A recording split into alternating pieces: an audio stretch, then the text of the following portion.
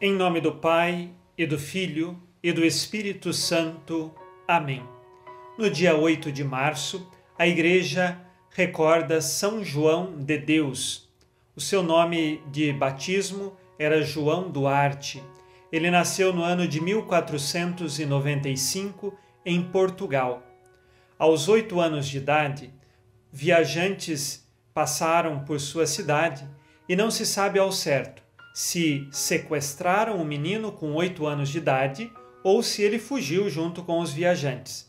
Fato é que em Toledo, na Espanha, os viajantes deixaram o menino João Duarte com oito anos de idade e um senhor chamado Francisco começou a educá-lo. Sua mãe e seu pai ficaram desesperados em Portugal, não encontraram mais o filho. A mãe, depois de muitos dias, tão triste que estava, conta-se que tem até morrido. De qualquer forma, João Duarte, educado por esse senhor Francisco, não sabia bem qual era o seu nome completo e então começaram a chamá-lo de João de Deus. Ele, na sua adolescência, passou a cuidar dos campos, portanto, era camponês e cuidava também do gado naquele tempo. Mais tarde, já na juventude, ingressou na ordem militar e nas fileiras militares conseguiu grandes vitórias, ganhou um pouco de dinheiro e depois passou a sua terceira profissão. Com o dinheiro que ganhou como militar, tornou-se agora comerciante. Foi para a África, desenvolveu diversos negócios, depois voltou para a Espanha, abriu uma pequena livraria em Granada. E ali nesta cidade ele ouviu a pregação de São João d'Ávila e a partir da pregação, ele se converteu e decidiu mudar de vida. Vendeu tudo o que tinha, seja do comércio, seja o que tinha ganhado nos outros países, o que tinha ganhado também quando foi militar. Vendeu tudo, ficou até descalço e começou a andar pelas ruas, feliz, contente porque agora tinha doado tudo aos pobres e dizia assim: Fazei o bem, irmãos, para o bem de vós mesmos. Este era seu lema e sempre pedia para que todos buscassem o bem. E é claro, o bem maior é Deus.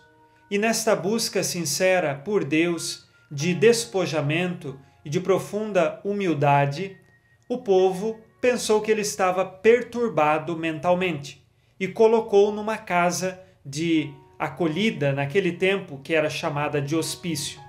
Ali ele sofreu muito os métodos daquele tempo e por isso São João de Ávila o recolheu daquele lugar, o levou para sua casa e então lhe deu maior instrução religiosa. São João de Deus, com aquela experiência infeliz daquele lugar onde ele ficou, decidiu então fundar a Ordem Hospitalar de São João de Deus, onde fundou diversos hospitais e com um método muito específico para aquele tempo.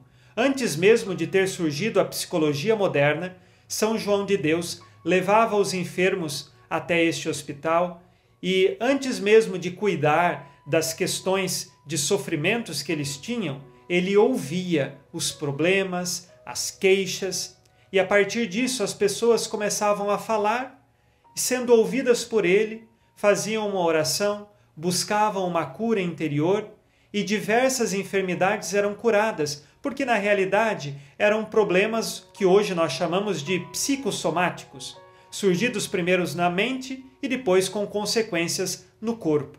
São João de Deus cuidava dos enfermos com um amor muito grande. Este é o destaque de sua vida e o caminho de sua santidade. Amar o Cristo na pessoa do enfermo, na pessoa daquele que estava doente e dava acolhida a todos os enfermos, principalmente aqueles que eram tidos como perturbados mentais. Ele trazia, acolhia e muitos eram curados, seja pela graça de Deus, seja também pelo método que São João de Deus empregava. Ele morreu no ano de 1550 em Granada e nos ensina que nós temos de ter compaixão, amor pelos enfermos, seja na oração, seja também na nossa presença e ajuda através da caridade fraterna. Rezemos com você e por você, pedindo a intercessão de São João de Deus. Ó Deus, que enchestes de misericórdia o coração de São João de Deus, fazei que, praticando as obras de caridade, nos encontremos entre os escolhidos quando chegar o vosso reino. Que por suas preces alcancemos, segundo a vontade de Deus, o que pedimos nesta oração. Por Cristo nosso Senhor. Amém. Ave Maria, cheia de graça, o Senhor é convosco. Bendita sois vós entre as mulheres, e bendito é o fruto do vosso ventre, Jesus. Santa Maria, Mãe de Deus, rogai por nós, pecadores agora e na hora de nossa morte. Amém. São João de Deus, rogai por nós.